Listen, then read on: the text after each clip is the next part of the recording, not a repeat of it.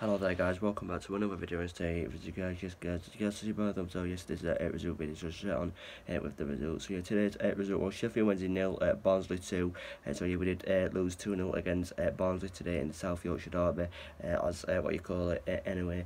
Uh, so yeah, we did lose uh, 2-0 today against Barnsley, uh, they, they, they did have more possession uh, than us and more shots uh, and on target than us. Uh, we were just too slow today, because uh, we don't know how to defend, uh, obviously. Um, I'm disappointed that we didn't uh, get any. Uh, well, we didn't get three points today, or even a point. Um, a point would have been nice, or uh, well, even a three points would have been nice to be fair uh, with you. But yeah, it, we did uh, lose 2 0 um, today against Barnsley. We do move on though uh, to next week against Plymouth Argyle, see how we do uh, against them uh, on uh, well next Saturday away. So yeah, we'll have to see uh, how we do then.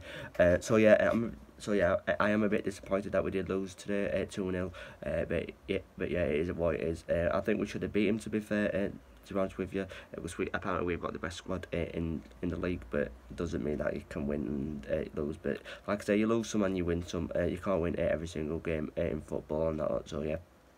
I'm a bit disappointed, like I said, that we didn't get the three points uh, today, or even a point. Uh, but yeah, is what is we move on uh, to uh, Saturday against Plymouth and see, uh, like I said, how we do against them. Uh, but yeah, like I said, they did have more possession uh, than us uh, and shots. Because uh, I did look at, well, I was looking at the stats uh, while, uh, well, when they did score uh, the second goal, uh, something Norwood, I think uh, you call uh, his name. Correct me uh, in in the comments if I'm wrong or something like that. I'm pretty sure that's how you pronounce his name. Uh, but yeah, um, they did have uh, more possession and uh, all that lot. Um, between us because we were um well they were all over us uh, in the first half and even second half to be fair because obviously with that uh, first goal that Barnsley scored and yeah uh, but yeah it is what it is anyway though. Barnsley have got Portsmouth next week and we've got um, Plymouth um, next week so yeah we'll have to see uh, how we do. Well even though I don't care about Barnsley um I'll see how uh, both teams do um, on Saturday. Uh, hopefully, uh, Barnsley lose, fingers crossed. Uh, but no, but yeah, anyway, um, I hope uh, we do win uh, next week, turn it around next week against Plymouth and try and get the three points there. Uh, we are st still, I think, third uh, in the table as well, guys. Um, correct me if I'm wrong again in the comments, but I'm pretty sure we are still third uh, in the uh, in League One.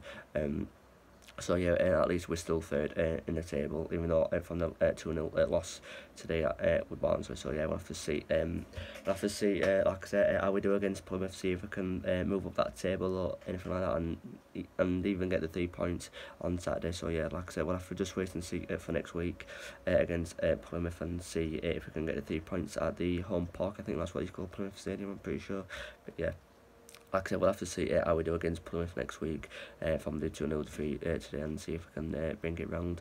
But yeah, guys, I'm going to end the video here now anyway. So yeah, thanks for watching the video anyway. Don't forget to leave a like and subscribe, guys. I'll see you in the next video. Peace.